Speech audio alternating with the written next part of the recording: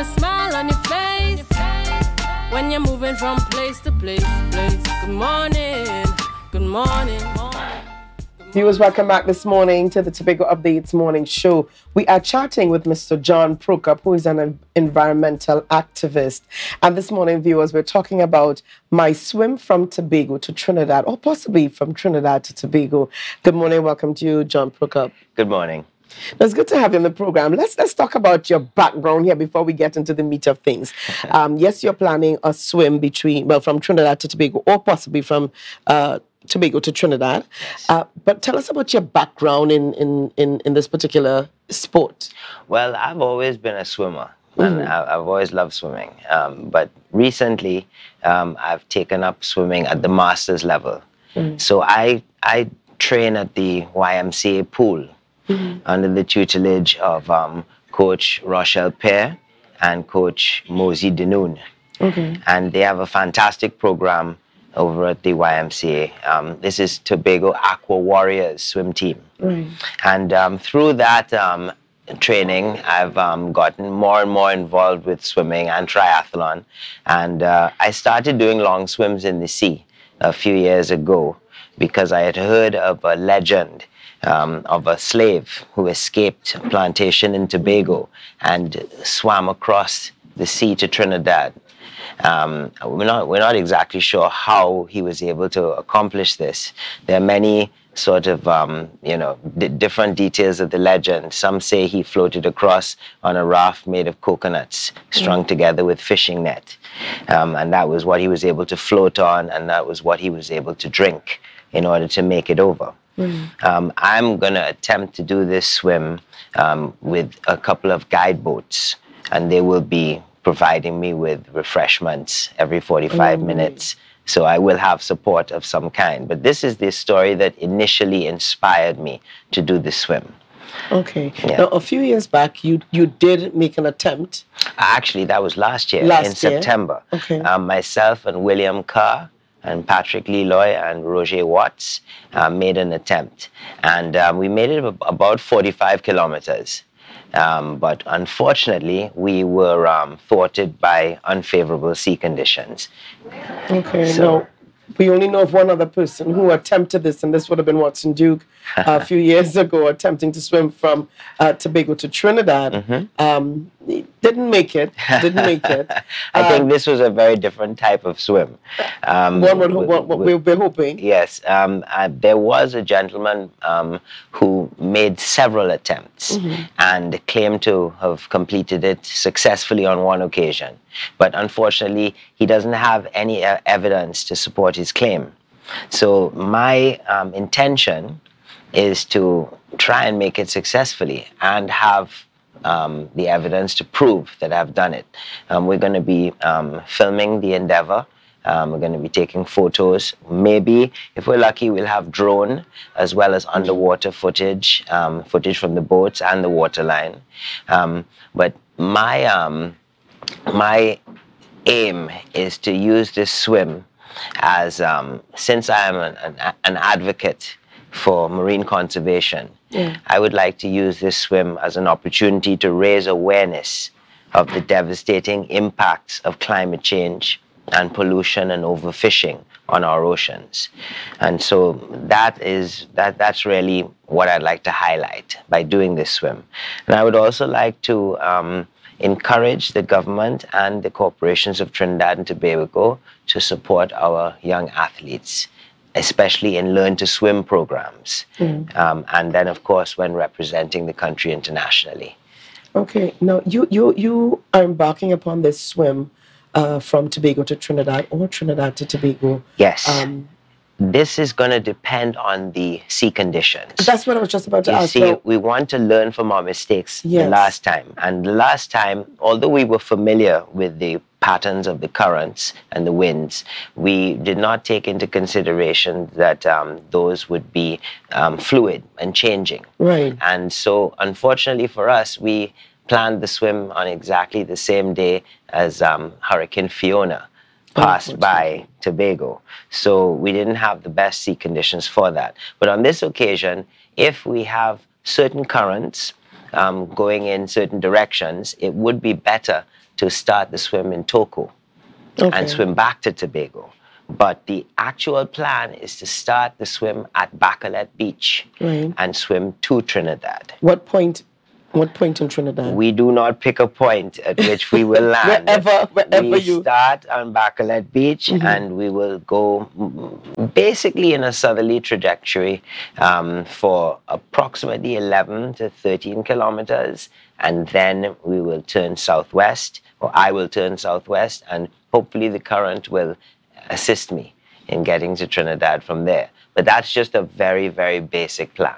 and this is upon the guidance of those who would be. This is upon the guidance of um, my navigator. Yes. Um, I have a very good team this year um, who are very experienced and knowledgeable about the currents and all of the sea conditions. And so my navigator will make that decision for me based on what the sea conditions look like the day before the swim. And then we'll decide whether we're starting in Toco or starting in Bacolet. But obviously, we intend on making it all the way across the ocean channel between the two islands for the first time officially. Okay. My question is why why this particular time of the year? Because we're going I mean we're fully well into the, the, the rainy season. Yes. And hurricanes are more a possibility now than True. the earlier part of the year. Why now? Well, that's a great question. Um, last year we did it in September, Right. and that was in hurricane season. The thing is, Even more into. yes, hurricane season is it's, it's tricky because it's very often the calmest time with the slackest currents, so the best swimming conditions, except when a storm comes. So doing it in August gives us a bit more of a chance to get it right as far as the sea conditions go, because there's less chance of the hurricanes coming and messing things up. Um, but at the end of the day, the real reason is because uh, it's, it's just changed from dry season to rainy season. The rain very often stops a lot of the wind, and with less wind, the currents are, are, are a lot less strong. And at the end of the day, no matter how experienced of a swimmer you are or, or how competent you are as an endurance athlete, there is no way that you can make a swim like this from Trinidad to Tobago or Tobago to Trinidad unless you are using nature to your advantage. But is this a swim for is it are those dolphins? Yes, those are That's right. dolphins. We saw dolphins. We saw lots of marine life on, on our swim in September last year.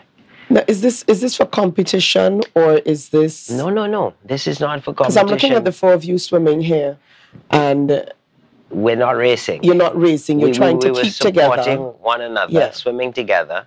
Um, on this occasion, I will be doing the swim solo. Okay. So it'll be just me. Um, one of my, my very good friends from the last um, attempt, William Carr, he will be joining me as um, a support swimmer. Um, he may not be doing the whole swim with me. Um, maybe not the portion in the nighttime, but maybe in the daytime. We're not sure entirely how much swimming he'll do yet, but he will be my support swimmer. All right. Now we would certainly love to to chat with you after this swim. Uh, we'd love to know what the experience was like for you. So we will we will keep in touch and we will be able to hear from you um, after the swim. Remind our viewers this morning of when all of this is happening. Okay, the date is the 10th of August, but we're not sticking to that date. Because uh, if, if we stuck to that date, then we would not have learned our lesson very well from last year. So, what we're doing is we're using the 10th of August as the approximate date um, based on the tide time um, and also the moon phase. And then we will see what the conditions are like in the couple of days before the date. And if things are perfect, a day or two before the 10th, then we'll go on that date. All right. Is there a way that the, the public can, can assist? You know, is there any way that we can uh, help make this dream a reality? That would be amazing. I've received quite a lot of support so far, but anyone who is willing to support um, is, is very much encouraged to do, to, to do so.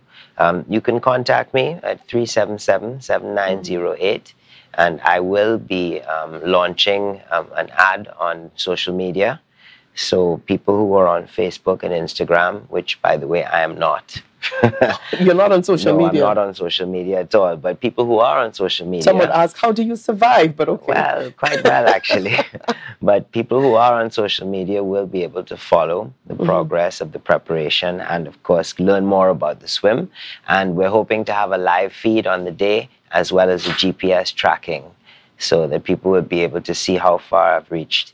But it's a long, it's a long haul. We're expecting a 15-hour swim at best, maybe 20 hours, and who knows, maybe more, depending on, on what the currents do. and what is your start time? Start time should be 11 um, p.m.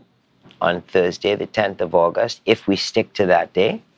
Um, starting on high tide, which is the best time to start, to, um, the best opportunity to get away from Tobago um, before the currents start to increase in strength when the sun comes up. At that hour, that time. The thing is, when the sun comes up, the wind begins to increase. right. And with the wind, the currents increase because obviously current is caused by wind. Yeah. So um, that's the plan. But um, it may be completely different on the actual day, depending on what day we choose. Um, but that is the plan. I should be swimming the first six or seven hours in the night. Okay, well, we wish you all the best. And again, we'd love to chat with you after the swim. Yes. Um, after you su- you survived. Well, Okay. hopefully, yes. And after I have not only survived, but after I have been triumphant. That's right. That's right, indeed. So, all the best to you again. And we want to thank you for being on the program this morning. Thank you very much for having me. A I pleasure appreciate indeed. it. Well, viewers, we're going to leave it here for today. We want to thank you so much for joining us this morning uh, for the Tobago Updates morning show. We are going to be heading over at this time into uh, Tobago Notes. And again, have a great day. Stay safe. And over to Tobago Notes and GMT. Bye bye, everybody.